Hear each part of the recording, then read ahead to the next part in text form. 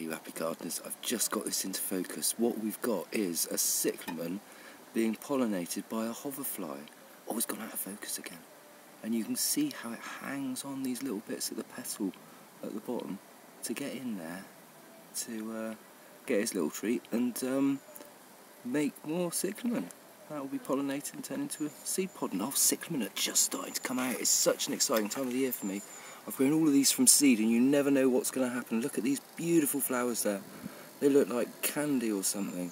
They're so elegant in their simplicity, just bursting out of the soil. No leaf yet. Look at them. They're lovely. Got a few over here. Look, there's a little white one there. I've got loads of these and they're all just starting to come up. They're all different. They're all different. I'm thinking about photographing every single one individually so you know what bulb you're going to get. Got a lovely purple one there with the... Look at those little tube things at the bottom of the petal. You've got these five petals that sort of unfurl. Where's one that's not open yet? Here's one that's not open. I'll try and get it in focus. You can sort of see the petals are twisted around like a little candy twist. And then that pops open and they flip back on themselves and sometimes twist as well. Look at this one here. He's fallen down because he's just been watered.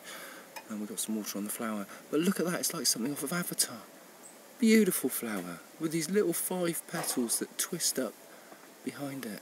They're stunning, ladies and gentlemen. They really do look after themselves. And if there's something I've learned in the last few weeks, it's what is drought tolerant and what isn't.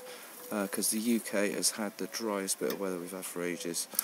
Anyway, I will. Um, my mum's just turned up, and uh, I think she's brought a chicken. So we'll be eating that. Anyway, this has been Robbie Phoenix rising from the ashes down at Stinky Ditch Nursery. Thanks for watching.